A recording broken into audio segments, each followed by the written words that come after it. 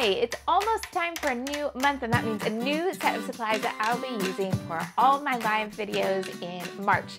So today I'm going to walk you through what I'll be using this month, the month coming, and you can grab similar things from your stash or you can click the links down below so that you can shop for the same kit too. Either thing is great and welcome and everybody can do exactly what they like. So let's first have a look at what I'm going to be using and then I'll walk you through any questions that you might have. Okay, so we have got lots of color, lots of rainbow, lots of fun, and this kind of emphasis on this type of blue. So I've got um, Mermaid Lagoon as the highlighted featured ink color this month. So you might already have that in your stash. You might have something similar, or it might be one that you want to add to your collection. I always use the Distress Oxides in the Best of Both Worlds videos, and because I find that they're a really easy way into beautiful ink techniques. So that's why you always see them highlighted here. I want to make sure it's something that you can dive into really quickly and not be stuck and go, oh, how do I use this? I want it to be nice and fun and easy. Um, these are the Altenew enamel dots, which come in a whole rainbow and then some of different packs. And you could grab enamel dots from your stash that are a similar color, or you could pick a different color from the papers. And if you want to highlight something else and this isn't particularly your color vibe, you could swap the enamel dots and the ink to something else from the colors um, that really speaks to you. Okay, um, I recommend if you're shopping kind of every once in a while, you might want to look at the Altenew enamel dots and just add a couple every time you order, one or two, because you can build up a rainbow of these and you get a lot in the pack. There's 163 in there. So these last a long time and some of the other collections where you only get like 20 or 30 dots, you can use them really, really quickly and then you're like, ah, I have to buy something else, where these you can build up a stash and have a whole rainbow at your fingertips paper. Okay, starting with Bella Boulevard. This is their You Are My Sunshine collection. And I'm starting with this one called Feeling Sunny, which has lovely patterned rainbows and sunshines. And the B side is a cloud print with cute little hearts on it. Love a cloud print and I love that color in case you haven't noticed. so that's where we start this time around.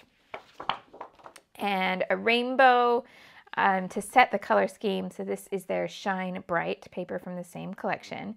Nice chunky stripe here to show us all the different colors. And if you've got a big ink collection, you'll be able to pull out different inks to match these. And I will be going through that as we um, get to use this kit. And then this is what I call a fried egg flower. So it's a tiny little mini flower with a circle as the center, a fried egg flower um, in pink and red on the back, or pink and hot pink maybe, um, and that same lovely joy-filled mermaid lagoon type color. Okay. Then a cut apart that is strips rather than cards. We've had cut aparts that are three by fours and four by six and lately and I wanted to do something a little different with that. So this one is all borders and that's what it's called, borders from the You Are My Sunshine collection again. Um, so you've got suns, hearts, text, stripes, rainbows, yeah, flowers, butterflies. B-side is sunshines, tone on tone yellow.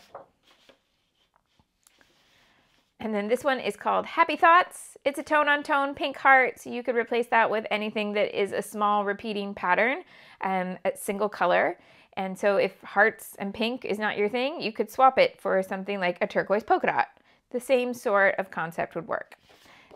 The other side here is multicolored and it is a polka dot, well, not a polka dot, a dot, a random dot, and with big circles on a white background. So you've got something that's nice and crisp and has that whole range of color. If I put it next to that rainbow, you can see that those colors then show up here, and we could even do something like that, where you're seeing the polka dots and the stripes together. Yeah, and so if you want to swap this out, the multicolored patterns like this, if you're building a kit from your stash, that's where I would start. Start with something like a stripe and a dot that you like together, and then build those single color patterns from pieces that are the same colors that you've picked out there. It's easiest to pick the multicolor first than to build it the other way around because then if you've built this single color sheet collection and you have to go to your stash and try to find a pattern that has all of those that you've you've pulled out all in the same pattern that can be really hard whereas if you pick something like this first then you've got a roadmap to go to your stash and say okay I want a green a yellow a pink and a blue and an orange yeah so start with the multicolor Then a nice, busy, fun pattern with lots of motifs. This one's called What a Day. And um, you could swap this out for something that had different sorts of motifs if these don't speak to you. But um, it's got a really easy to use green polka dot B-side. And then something that's a bit wild and bold and not huge though, because I want to be able to use it in small pieces. So you're looking for a colorful pattern that's small. and um, it can be random or repeating, either would work. Or you could do something where when I use this, you could swap in some stamps and stamp motifs that, um, that suited the theme that you wanted to scrapbook. That's another option there. Okay, different collection here. This is Kid at Heart from Pebbles, also a multicolored collection, also a rainbow heavy collection. So we've got this one called Get Your Happy On, which is all text, but you'll notice that these colors, even though it's still a rainbow, they're running a little bit more neutral than our big cool toned um, rainbow here. Yeah, we've got more of an emphasis on the red and we've got this tan. Um, yeah, and the blues aren't so cool. They're uh, more like a periwinkle this is going toward. But we have navy. And I think that navy ends up a really nice addition to the colors that we have here. So the green works well with the navy. The yellow works well with this navy. And the light blue with that navy can even work. I know that the lighter blue here is not the same as the lighter blue here, but I still think those two could work together and be harmonious. So um, there's, there's potential there. So we've got the happy, happy, happy and navy blue there. So you could sub that with any navy based pattern that you like and maybe a text print. Then this is a more classic rainbow look than the other rainbow that we've had already. So this is just plain old traditional colored rainbows in lines. And this one's called Chasing Rainbows. B-side is a mustard yellow as opposed to that sunshiny yellow. Yeah? So giving us some depth and options when we start to layer the different tones. Um, and again, it's a polka dot, so it's really easy to use. This one called Playful, um, which is just a take on a stripe where instead of having solid stripes, you've got scallops. And I love these as, as pieces that we can then cut into different little borders and add little um, edge treatments to. Really nice little finishing touches. And I can imagine that we'll cut this and use it on lots of different layouts. Don't hold me to it. I might have another idea where I use half the page at once, but I think I'm going to cut it into lots of different strips. And then um, a, not quite maybe, let's see, are they the same?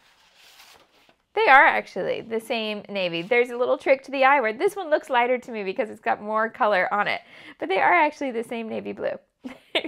um, so a floral on this one.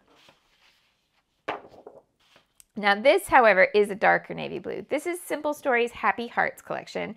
This paper is called Lots of Love, and it is a Valentine collection, but I wanted a paper that could be used for lots of different things and doesn't specifically say Valentine. It just says love a gazillion times and has lots of hearts.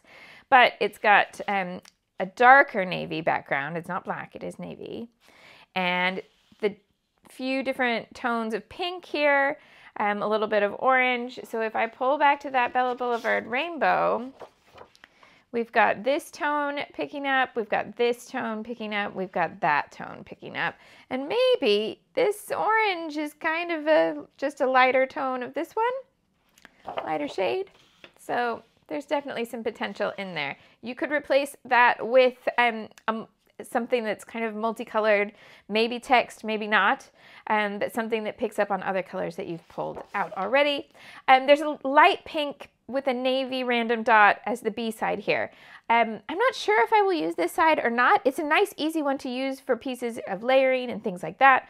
Um, great for photo mats because you don't have a, a, pattern that takes a lot of space to tell what it is. It's just dots on a pink background. Um, but it's also not a color combination where I go, oh yes, I want that as a 12 by 12. Um, this is quite cool, and so I may use more of this side. Same collection here, Simple Stories, Happy Hearts. This is the tag cut apart. So all the A side versions of the tags have bigger designs, and then the B sides are all journaling. And the journaling lines are really faint. And so this is a grid, this is lines, this is plain.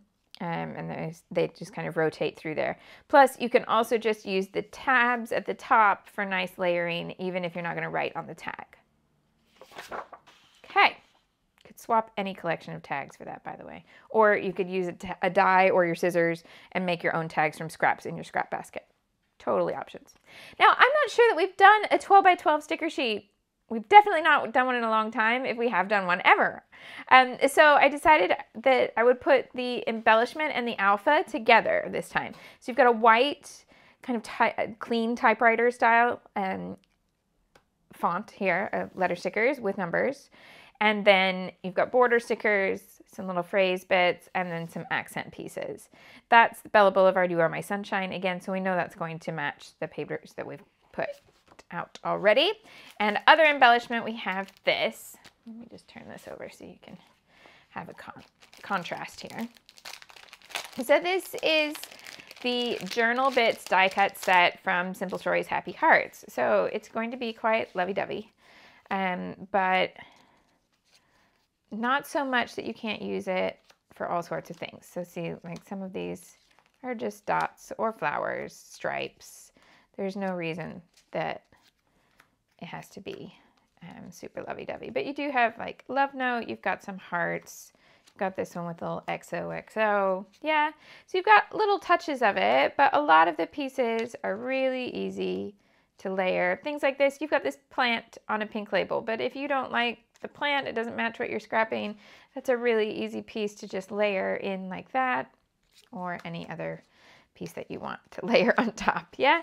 Um, versatile. So like for example, this one, I would look at this and say, I don't know that I can ever see myself using heart-shaped sunglasses, but I can do that and layer it under another piece like this. So I'm not worried that I wouldn't be able to use them, yeah?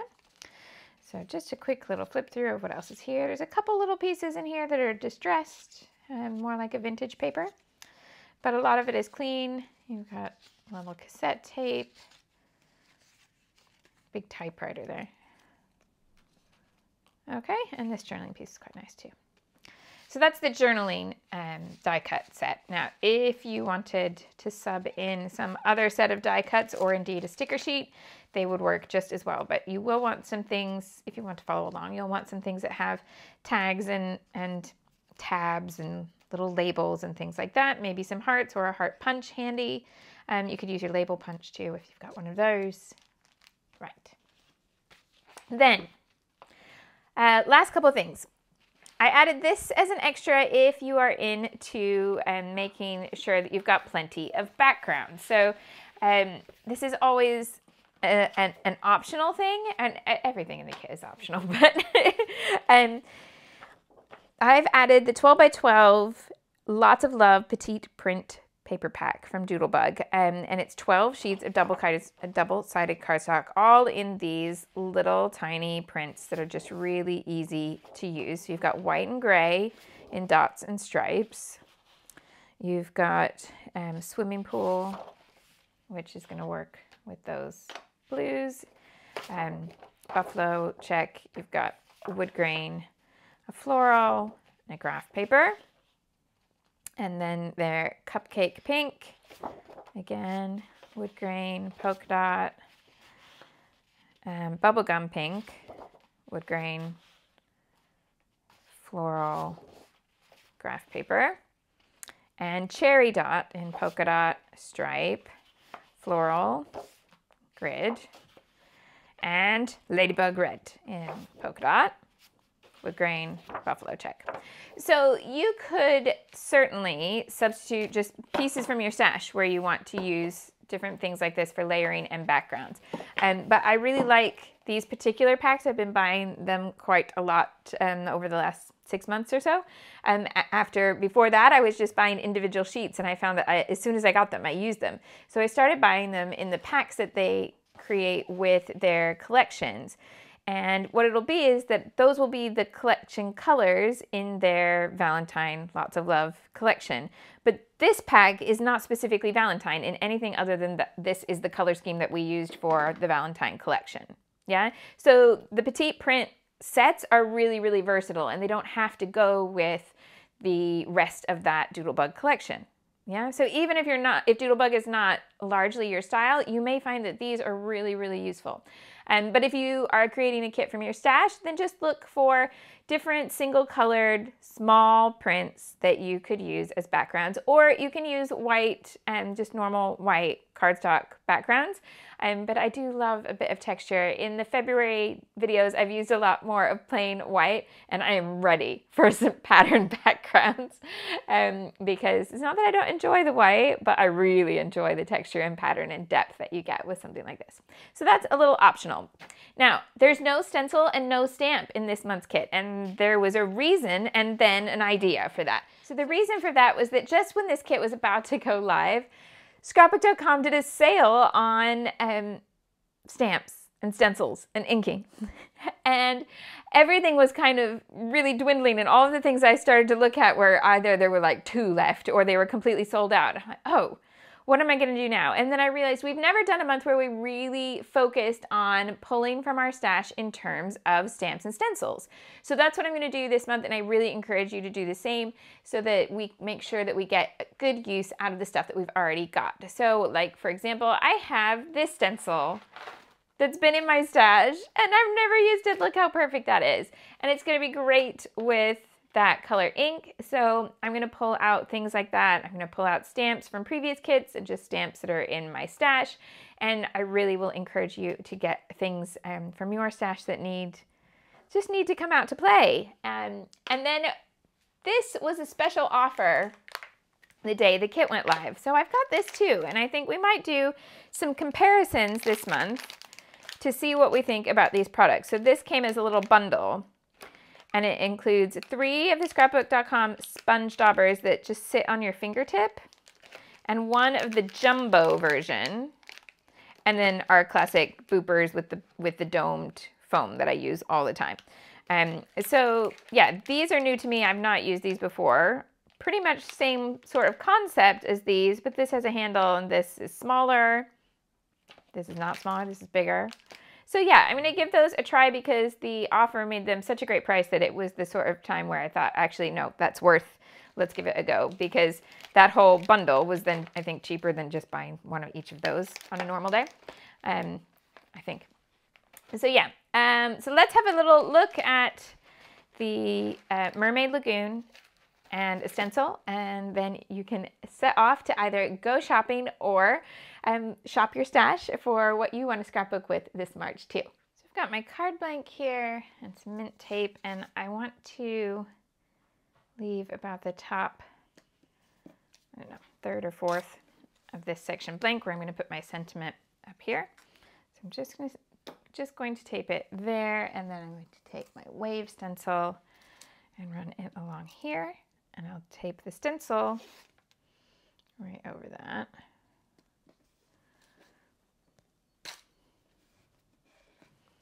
And then also just a little bit at the bottom.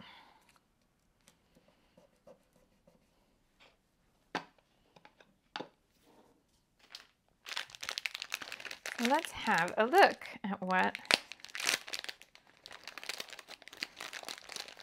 what these are like.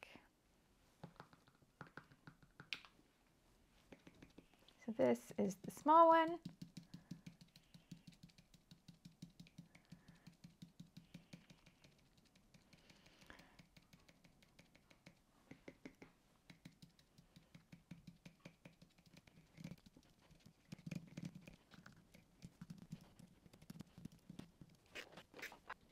Now this lighter color is Tumbled Glass and I'm just putting that onto the mat and I'm going to blend this color out, but I'm using the same applicator.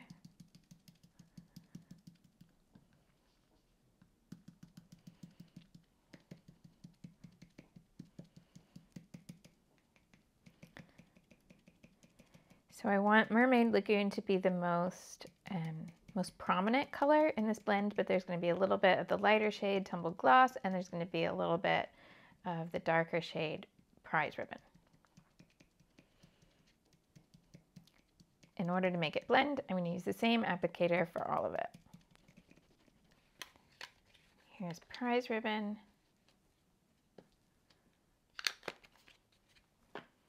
Now this is the darkest color, so I'm going to want to use it the least. Otherwise it can take over. And then I reverse to go through the colors. So this is going to go back to that lightest shade. And I'm just going over the edges to soften it all up.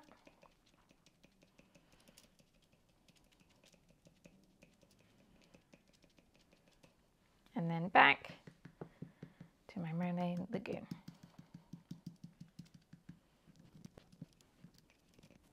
Okay.